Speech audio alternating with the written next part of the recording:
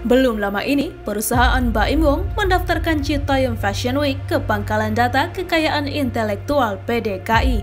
Permohonan atas nama PT Tiger Wong Entertainment itu sudah terdaftar sejak 20 Juli lalu.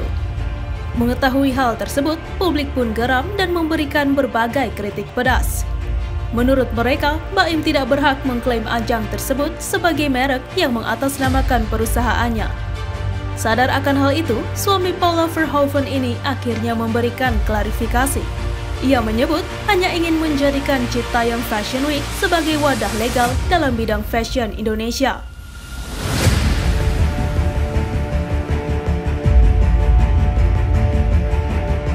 Selain itu, dirinya dibantu oleh sang istri yang merupakan seorang model dan paham dunia fashion.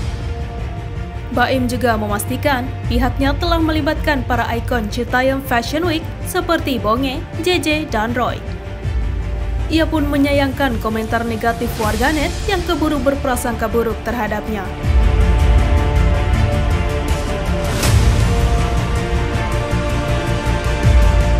Ayah Kiano Tiger Wong ini juga menegaskan bahwa segala proses ini sudah ada rekam jejaknya. Adapun dirinya telah mengantongi izin dari kementerian terkait untuk menjadikan Citayam Fashion Week sebagai pagelaran profesional.